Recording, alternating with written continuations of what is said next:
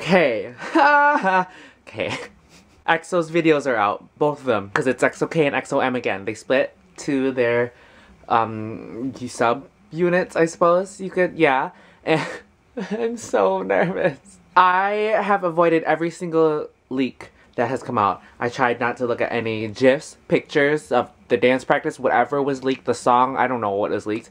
I avoided all of it like the plague and I because I wanted to be surprised. I wanted to be surprised and have a genuine reaction to the song and the video. So this is gonna be my first time I've heard or seen anything about Overdose and I am excited. I am nervous. I am scared because I do not want to have a heart attack and die from seeing this video. So this is gonna be my reaction to EXO-K's Overdose. I'm also gonna do a reaction to EXO-M because my two main biases are in EXO-M, but I'll put that in another video. So I will do that later. But first, I, oh god, this is it, this is it, you guys. This is gonna be EXO-K's Overdose starting right now. Oh god. Wow. wow.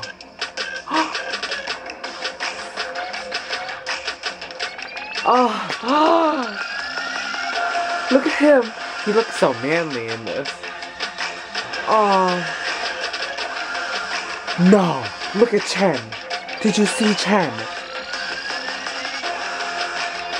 Oh. They look so mysterious. Ew, no!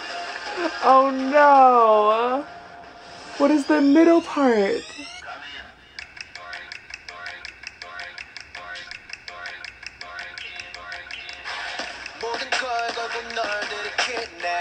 What is that bucket hat? Oh, I'm feeling things. Oh my god. Oh my god. This is like... Oh my god.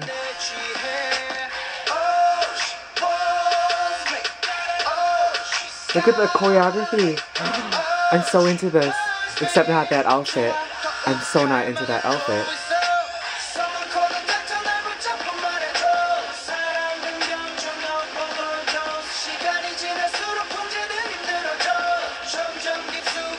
Look at them. Oh.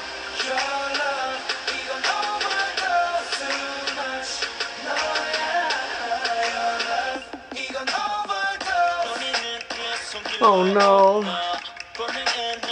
I didn't know they were all gonna be in this. I didn't know they were no way.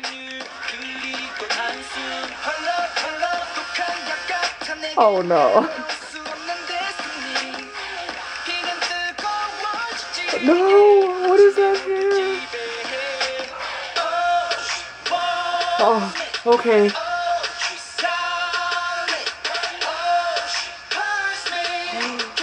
Oh.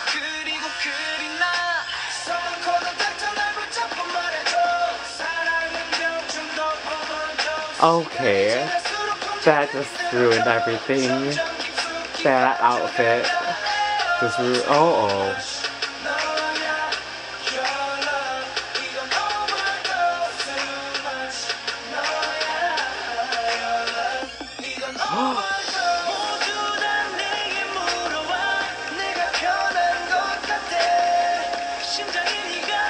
Oh my god.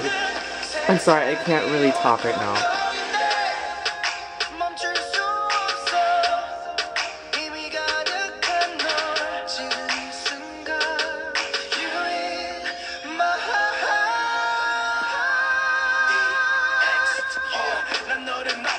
Oh.